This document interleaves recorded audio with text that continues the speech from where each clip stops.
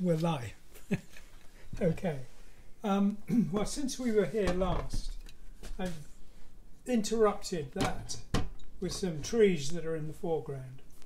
And I've decided that I'm going to take some of that form and bring it around here to kind of feed the viewer into the subject matter, which is going to be in this area here. I was wondering if it's if the light is behaving. Can you see closing on that? Mm-hmm. what I'm doing is I, I'm just showing you a detail because I've added a lot of texture and a lot of different colours in there, and that usually helps me work on sculpting the painting when there's a lot of texture to work against. Now I haven't done much in the way of sculpting on this so far, but it's it's busy enough in a way that I might just leave it. But getting a texture both on the canvas and in the painting is very critical. You, you need feedback. I need feedback, and that's what helps. Give me that feedback. the trees are just roughed in at the moment, um, and I've been told that um, I should do the big things in front of the camera rather than all the little incy wincy details. So when I put the form in here, I'll do that next time and I'll do it in front of the camera. So you'll see it all, including mistakes, because there inevitably will be some. So it's looking wintry at the moment, but I haven't really decided that this is snow. This could be just the colour of the night um, and so I'm going to soften the black with a very, very dark blue, like here, and soften the tops because it does look like snow at the moment. And that's really an overhead light. Just putting those water bottles. oh, you, you're controlling me, okay.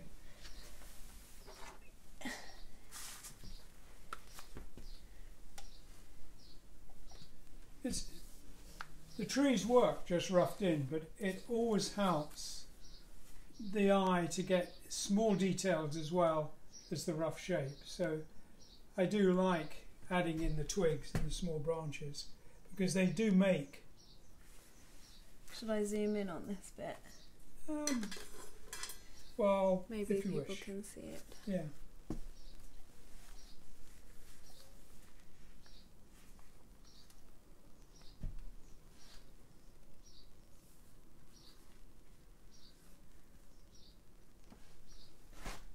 Um, any stories or thoughts on Asia's Astra cover? Any stories or thoughts? Mm. Is that a question? Yeah, sorry, Oh, I missed okay. the name of the person who asked that question. Well, interesting.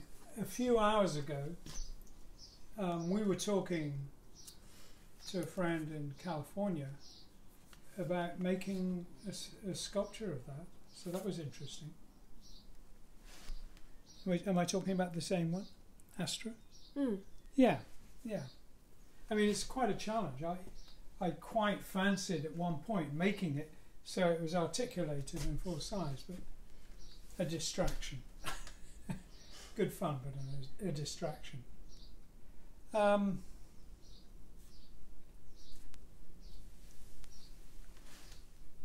it was interesting because there were lots of robots around when I was doing that that were chrome and looked highly polished and highly finished.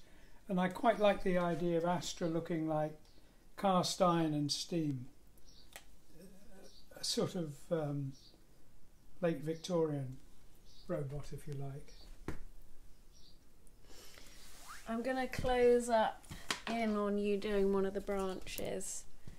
I won't be going in and out a lot, but just while you do, can you do a couple of branches while I'm here? Yeah, yeah.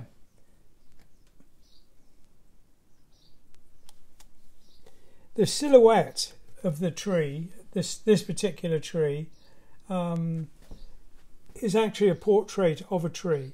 The, these twigs and things I'm doing really though from memory and from a memory of a texture more than a memory of individual uh, twigs. So it's Could you do a new twig rather than going over the same twig? I will do that. Brilliant. I remember you telling me once that to get twigs and branches looking realistic, you have to keep the thickness even on both sides all the way through. If they get thicker and thinner and thicker and thinner, they immediately look unrealistic. So Yes. you have to keep the thickness uniform.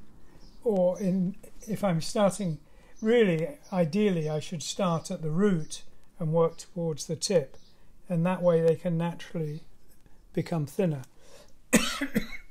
For me, working f- across this branch, it's harder, but they're all that way round. I could I could tip the painting upside down and do it more effectively, but you're right. And I would check and fix that later in the normal course of events.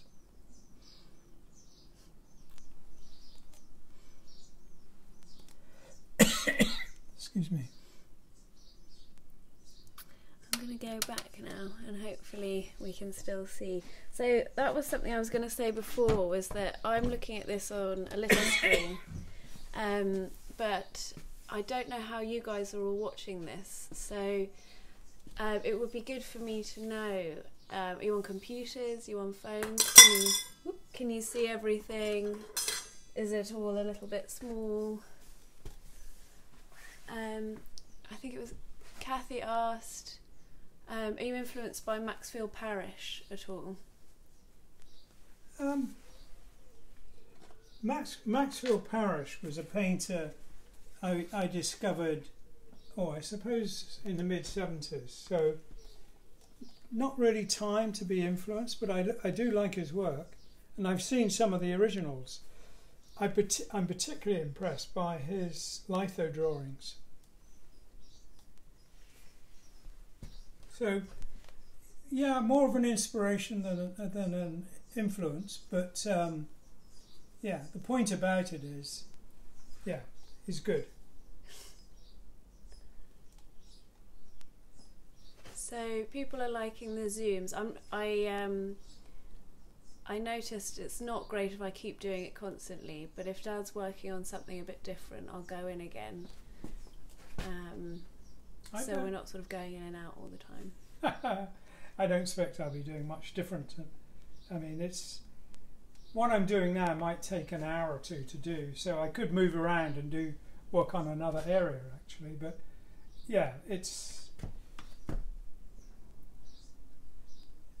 yeah, paint.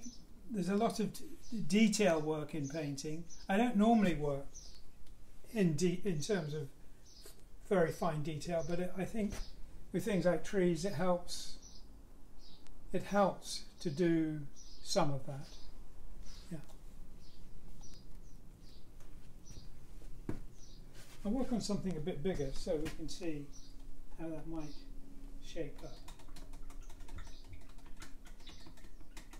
Um, someone asked if you. Uh, by the way, thank you all for letting me know how it's looking on your devices. Um, we had another question. Uh, did you know Patrick Woodroffe well, and what did you think of his work? You could answer that. Not on your behalf. I, I knew him well, yes. Liked him too, and I was amazed at how phenomenally detailed, how obsessive it, he was about detail and very competent at doing it. I never worked that way, but I was very impressed with how he did.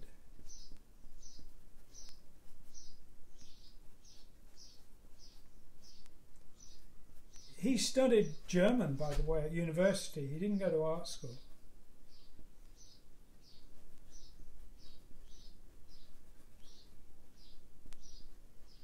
I just remember, I think I had digestive biscuits for the first time in my life at his house, That's and right. forever on they were called Patrick's biscuits.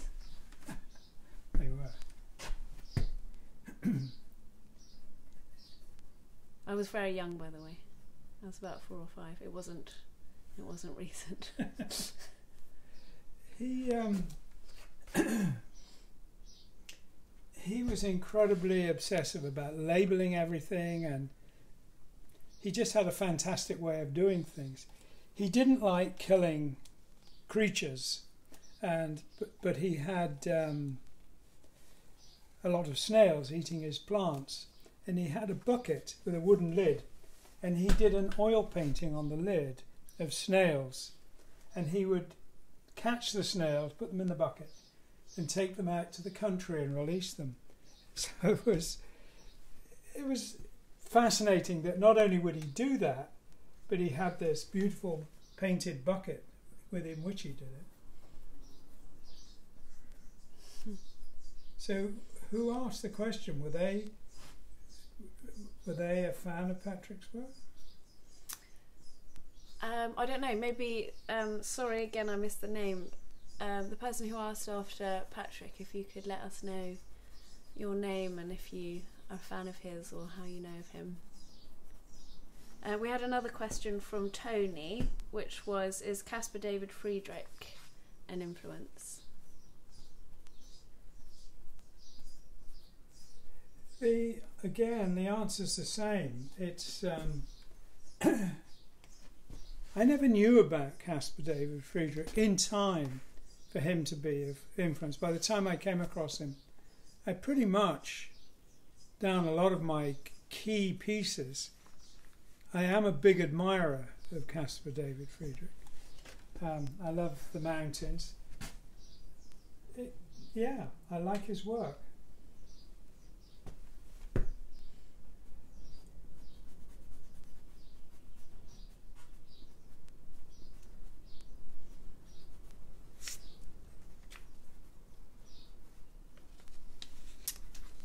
Um, Alan asks, did you like the artist Eyvind Earle?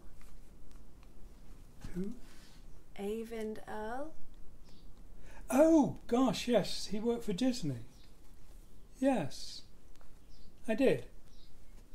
Very stylized, but yeah, very impressive. If I've got the right person, that is. Sometimes I worry about asking questions with names of people I don't know in case I betray a terrible ignorance. but I've never heard of that person. I hope that's how you pronounce it.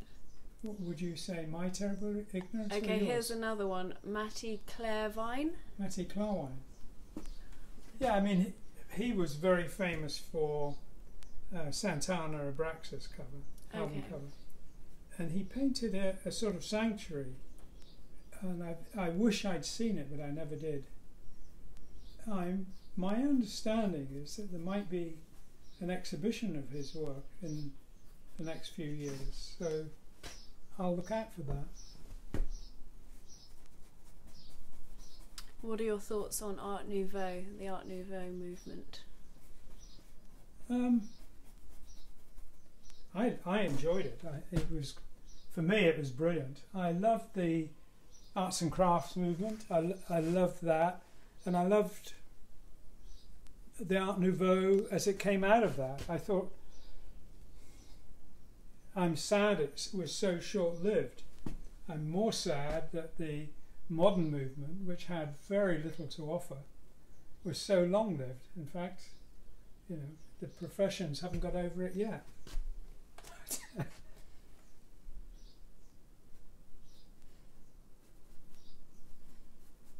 One of the things that, if you look at a lot of, say, Japanese painting, for example, you can admire the craftsmanship, but the thing that is stunning as an overall thing looking at Japanese painting is the incredible design. It's beautifully, exquisitely designed as well as very competently painted. So that combination of design of the painting and painting was very impressive. And Art Nouveau picked up on a lot of that. I mean, they made their own thing, but that was a very significant Japanese influence in the, the way they designed not just paintings but everything from jewellery onwards. It didn't look particularly Japanese, but it was a Jap- Japanese art was a big influence. I'm gonna let that dry before I do anything more with that. I'm just trying to lessen the impact of the black. Could you stand in the shot a little bit more while you're doing that? All I was doing was washing a brush. Well, we want to see it all, the whole process. The whole process. Fair enough. Fair enough. Um, someone asked when you talked about uh, sculpting earlier. Um, oh, flip! I missed the last part of that question. Um, could you explain that a little bit more? Yes, I mean, basically, what's happening is that this is a silhouette, but it also has a form. And because it isn't something you would immediately recognize, I need to put as much definition of the form of this thing as I can. So, because I'm making it look three dimensional, I use the word sculpting metaphorically in that context.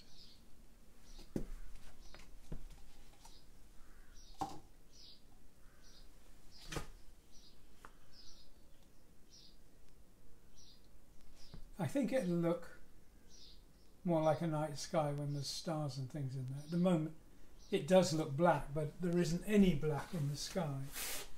There is in the trees, there. Why do your rocks float? What's that about?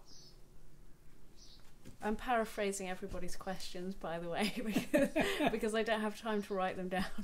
Okay. They they generally put them better than I say them, but that's the gist. It seemed like a good idea. it's like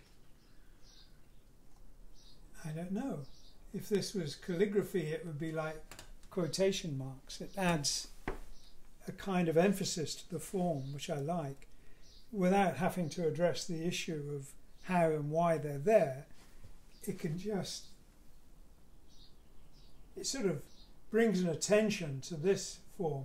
These kind of emphasize the shapes of the other rocks. So I, I, I use it as a visual punctuation, but I like it. It's, yeah.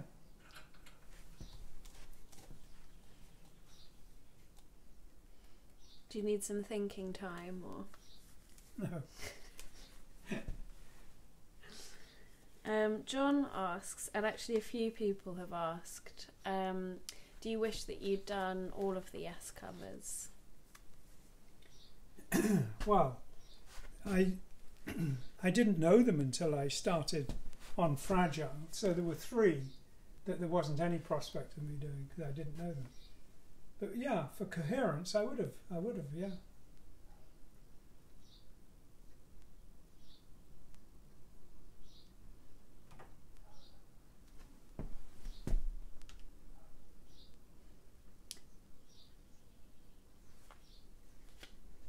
Dave wanted to know, will you be doing any furniture?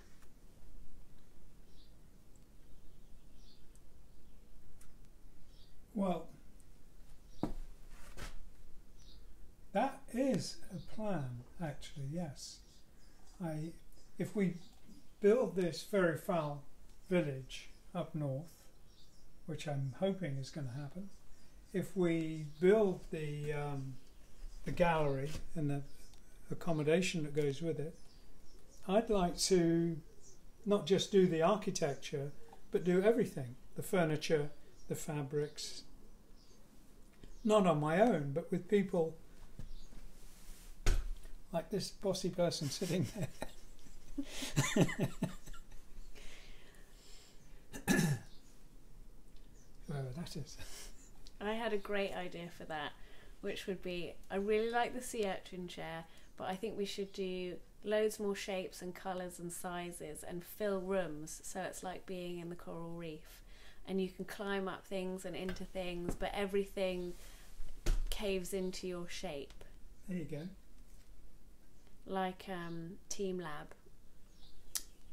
I'm going to have to take you there if you come to Japan. There you go. Oh, oh, yeah, I would like that. Um, lots of people wanting to know your opinions on Gaudi. Oh, I love his work. He was extraordinarily lucky. He had a um, a patron who pretty much gave him his head, and he built all kinds of fabulous buildings because he had a patron. Um, it's easy, you know. I can sit here and paint, even if I didn't have a client. I can just paint. but if I'm going to build buildings, it's not really something I can do without a client, without a patron. So, yeah, Gaudi's work is fabulous. So what you're saying is, if you had the money he had, Well, then we'd the see. patron, yeah, yeah, yeah. There were a couple of times when we nearly got there, but um, it, it wasn't to be at the time. Hopefully, it will be in the near future. You know, coronavirus has set a lot of things back, but not necessarily ended them, just postponed them. So when do you do the stars? Is that a kind of final touch thing, or Yeah, pretty much. Yeah. just trying to think of ideas to give you while you're Well, I would. pottering around? Yeah.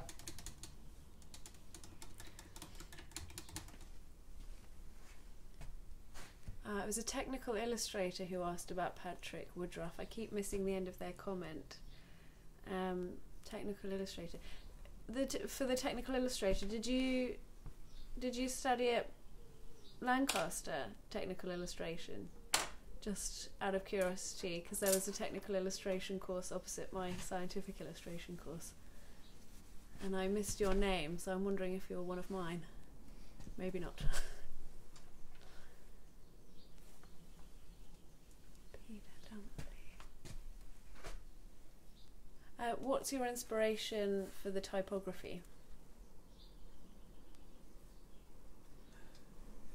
That that I can answer. The um, when I was at college, I got very frustrated with the incredibly austere design practices that we were expected to follow, particularly for arch- architecture. There was no evidence at all that architecture worked for people. By the way, we're going to do a session on architecture after this is finished, so I can show you slides and we can talk more about it.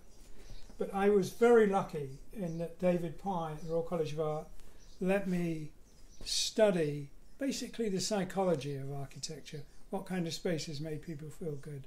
So I put a lot of effort into that, and it allowed me to pretty much wholesale reject the modern movement in architecture. And with things like the sea urchin chair, I had moved a long way away from, again, the modern movement in furniture design. But when I got the first job at Ronnie Scott's, I pretty much followed what was going on in graphic design. I used Helvetica and basically pretty standard graphic design principles, and it was not. It didn't work for me. And then I saw Rick Griffin's album cover, Aoxomoxoa, and that was a fantastic liberation for me. It was like, wow, I could actually do whatever I want. So I studied typography then at that point, and I read up on what makes it work and what doesn't work, and how much of a letter form you need, and found you only need to read the top third, and you can read it very well. So if you're going to play with the shape, you play with the bottom two thirds, and it was good. It, it, I would, you know, say Rick Griffin opened the door for me to play, basically, with typography, and it's been enormous fun. I I have never been, but I've been invited to three or four uh, graffiti conferences. One day I'll go.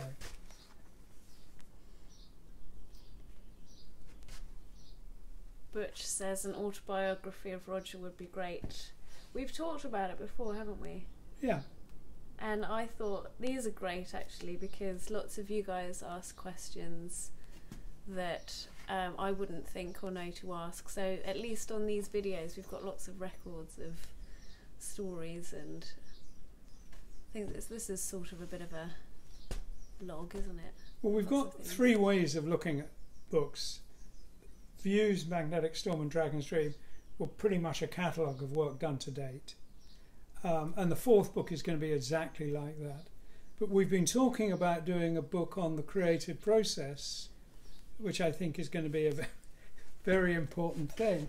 Um, and we've also talked about a biography, which to be honest, I'm not so interested in. Um, it's a problem for me.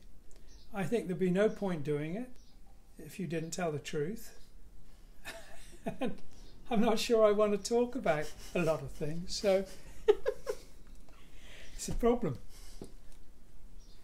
I, I have a little mischief maker there. You'll probably do it. I don't want to know. Good, good. Best answer you could give. I think that I think there's I don't know maybe people have done it really well but I just think there's a serious conflict of interest doing your parents' biographies. I mean, you What? know, I didn't necessarily mean you doing it, but you badgering. oh right. Well, what can I do? I can't even make you work on this. no one can see, but every now and again I do gesture at Dad to keep working, and he completely ignores me. Well, yeah. So I am trying. Just so you all know. Well, you can keep asking me questions. I don't know if I can. Well, try. Okay. Would you ever want to design a vehicle? Trilby? Trilby asks. I did. When I was at the Royal College, we had a project which was we were given a chassis and asked us if we would be interested in designing a vehicle on the chassis. And I think there's a picture of what I did in the book Views, plus some other vehicle ideas that I did at the time. There's only so much I can do, and I guess really where I want to put all my focus and effort is a cohesive approach to architecture.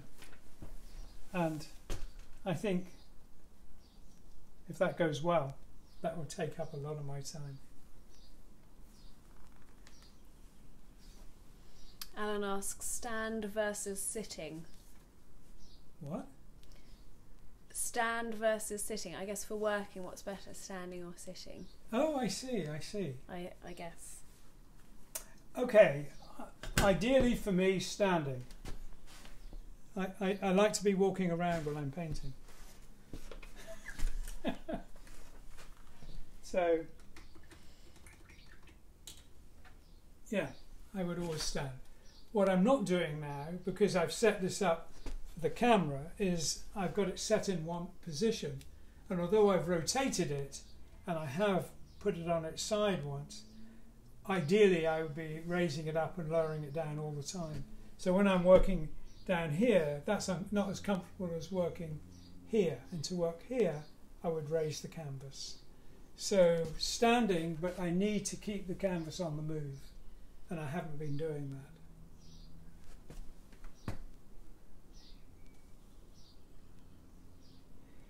I, yeah, if I'm working in my sketchbook, I take them with me if I go to a restaurant or sitting on a plane or whatever. So my sketchbooks I work on anywhere, and typically for those I'm sitting.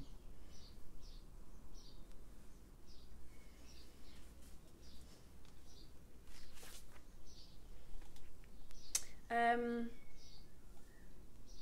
Brian said, made a comment about doing something with Team Lab, and there was a sort of whiff of something like that going to happen, wasn't there? A friend of mine knew some of the people there, and we passed some things in, and then, oh, I don't know, these things happen or don't happen.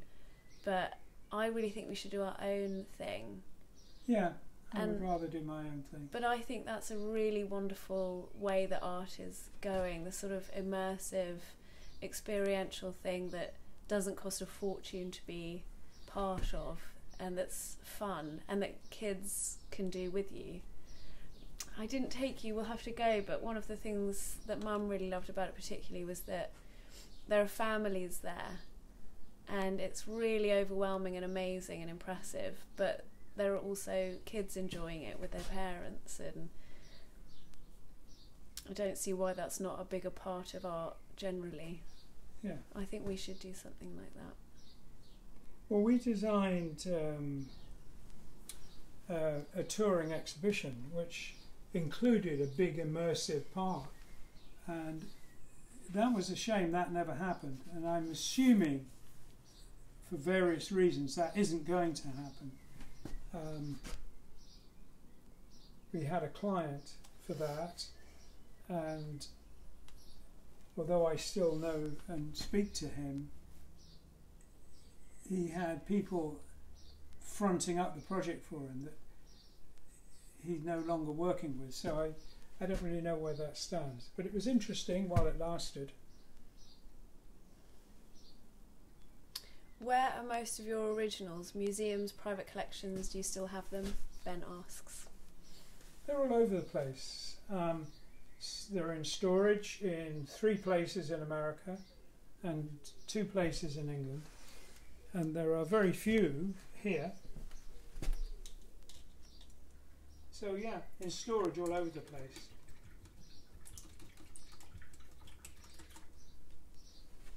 That's why I would like to build my own gallery. so I could keep them in one place. I did say last time that um, I mentioned that uh, I did an exhibition in the Isle of Man. I may have not mentioned the location, but it was in the Isle of Man. And it was fabulous because I was there and going in early every day when there was no one else around. I just loved being in the presence of so many paintings. It was a retrospective, so there was quite a lot of them there. And that worked really well for me. I loved that. And actually, I remember sitting down, uh, passing the point when public came in, and I was sitting next to a, a very elderly couple who'd walked in. They were used to going to the museum, but they didn't know what was on. They just came on a regular basis, and they started walking around and talking about the paintings and sat down. Uh, I suppose it was a bit sneaky overhearing what they were saying, but they were very nice about the paintings. They had no idea where it had come from, and- it was good. But what I loved was about being there with the paintings myself. And what I liked about the exhibition in the Isle of Man is they asked me what colour I would like the paintings to be seen against. You know, white, black, whatever. And they painted the gallery and the and the um, partitions to suit the pictures, and that was brilliant. It was really brilliant. So that's what I want to do. So from all the different storage places, I'm going to round them up and get them a home. That is the plan. You can ask me questions there. Are you done No, with the painting? I might just do a bit just Have to be little- awkward. Have a little relax. Okay, let's have some questions. Are there any colours you don't use because of your preference or the reproduction? How they come out in reproduction? Um, not now. No, I use a whole spectrum.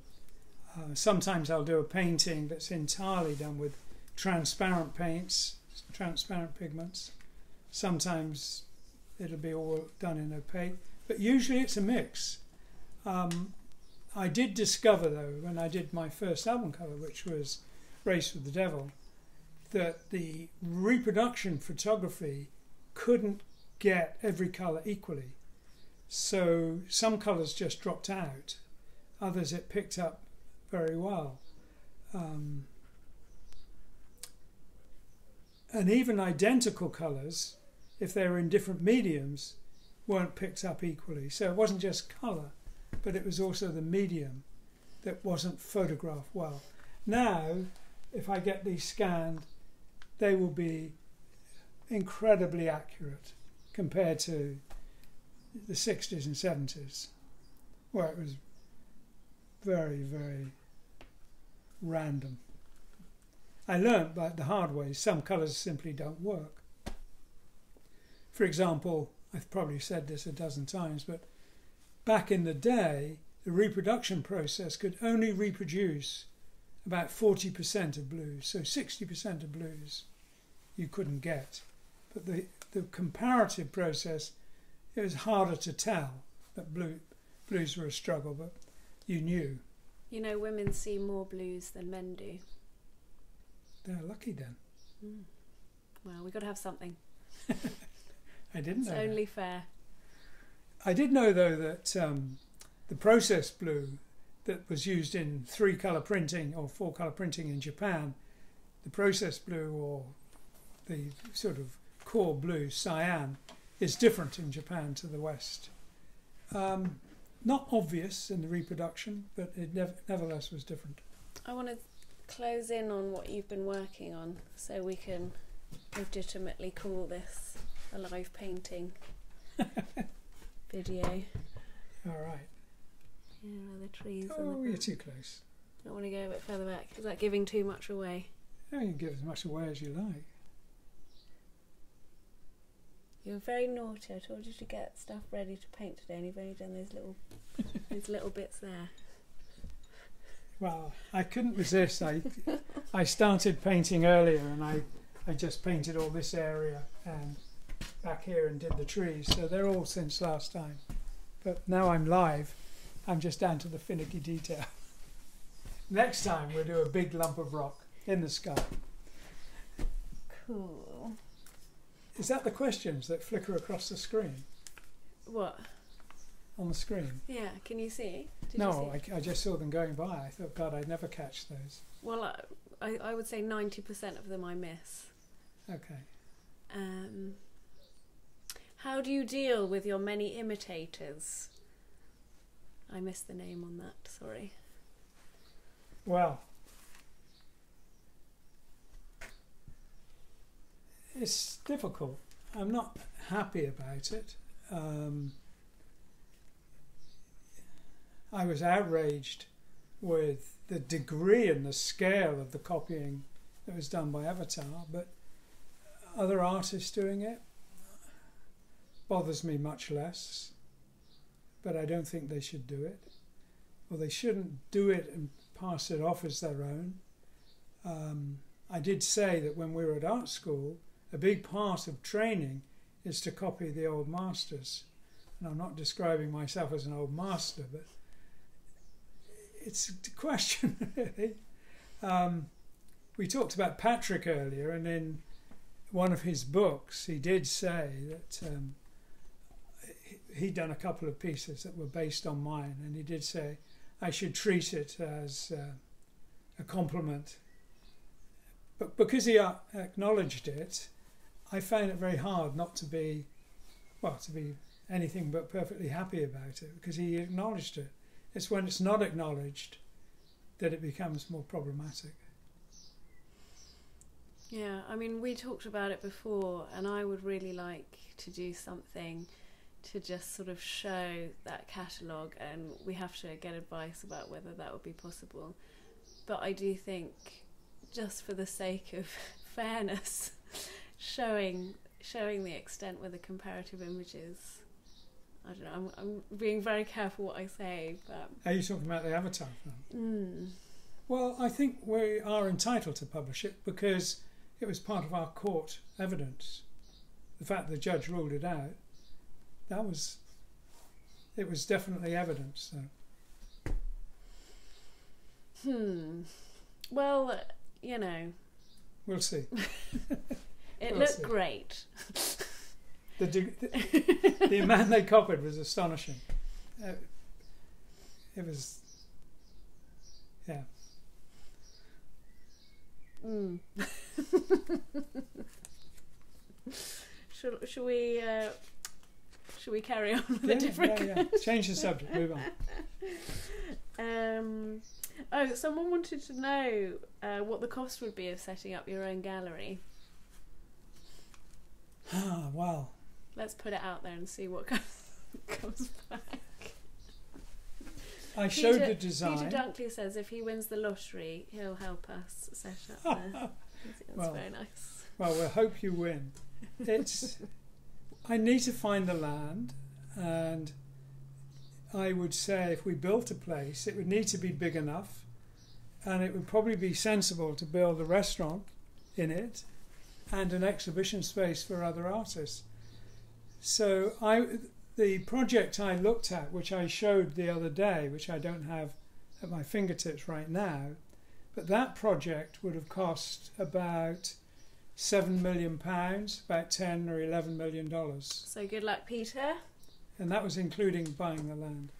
That's going to have to be the Euro millions, isn't it? That kind of kind of level. Well, you know, it made sense as a business plan. It looked like it would be self-financing. So hmm. Indiegogo. We'll, we'll think of something. come on, ask me questions. Kaya wants to know: Do you ever use sponges while you're Sponges. working? Um, I did. I did. Yes. So, is that enough of an answer to that question? I past tense because. Um, well, no, they're in the drawer right there where I work.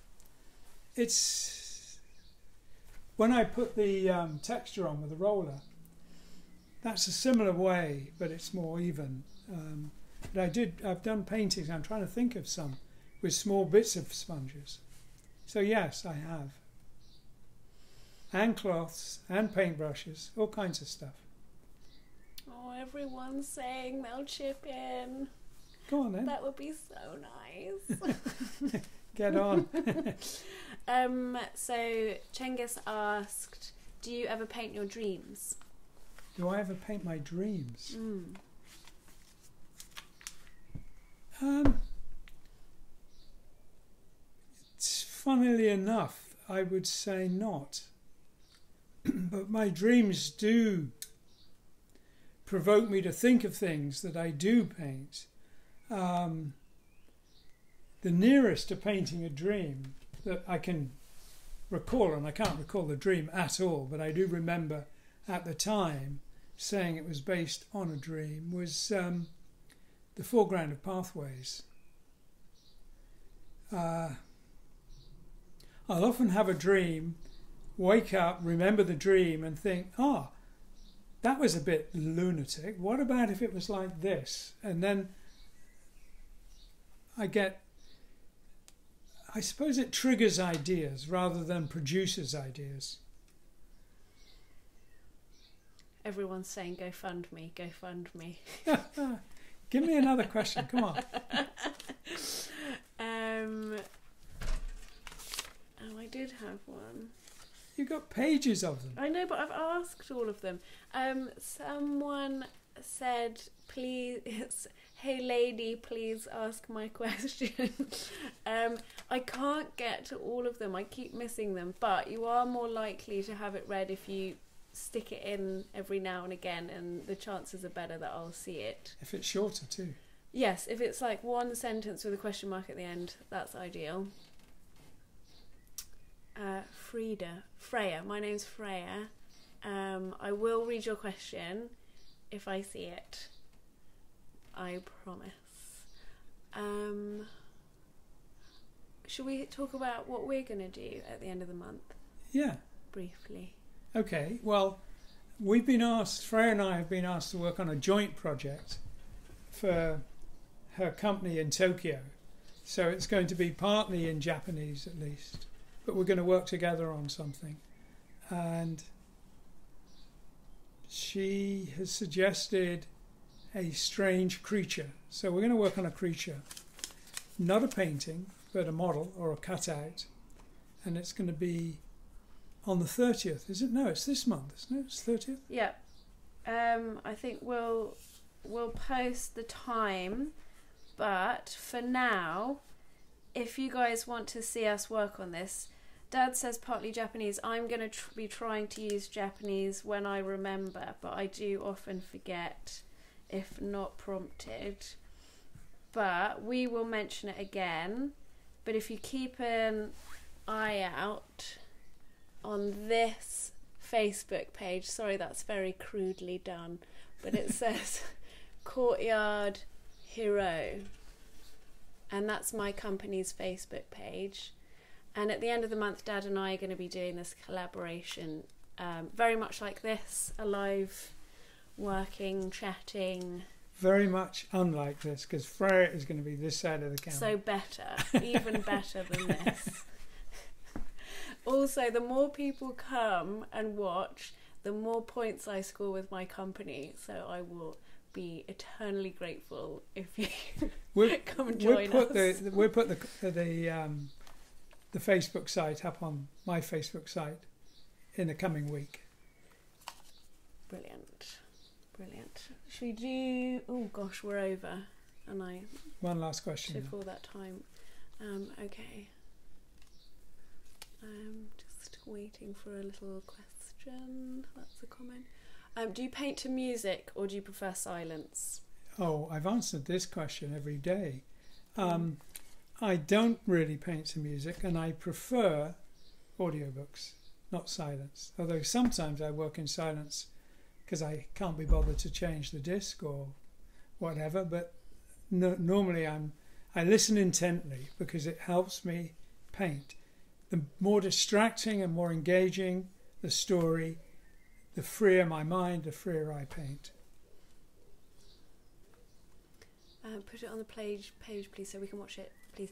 Um, yeah. So when Dad and I do the collaborative thing, we'll tell you beforehand the time, um, but also we'll share it across onto the page after it's done. So even if you can't join us live, uh, we'll share it on Dad's page Yeah. as well.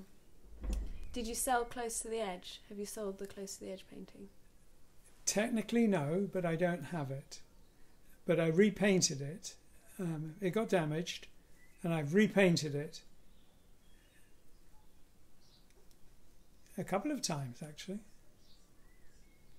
There's a print out there which is based on the new painting, uh, but there's two new paintings. We are we were going to do a project for the 50th anniversary of Close to the Edge, which would include a whole bunch of new paintings. That may happen. I'll have to talk to Martin Darvill. Martin, if you're watching, let's talk about it. Um, okay, as always, there have been way more questions than I could get to, um, and really good ones. I'm sorry I've missed a lot of them. Glad we got to some of them. Um, There's someone who keeps calling me Frida and saying I'm not reading out their comments. All you're saying is that I'm not reading out your comments. Don't test me right now. We're we're wrapping up. if you put them in next time, I will try and get um, to your comments and questions. So, as usual, well, the last one this week is going to be on Friday at 7 pm. Yeah. Um, but always Monday, Wednesday, Friday, 7 pm. Um, and, and next time, so as I don't get into trouble with Freyja, I'm going to paint large bits on the painting. I just think that's what we're all here for, isn't it? I guess. Maybe not. Maybe not. okay. Um, so yeah, come back, ask your questions again, and more, and I will get to as many of them as possible. Um, thank you very much for all of the ones that you have put in and for joining us. Though I think the safest bet to get a question asked is have the question very succinctly at the beginning, and any comments about asking it or whatever should come after. Name everything after that question mm, because they scroll on the screen. It's not always easy to get them, no, maybe and should. impossible for me. yeah. But thank you all very very much, Thank you very much indeed. and we'll see you hopefully on Friday. Yes, yes.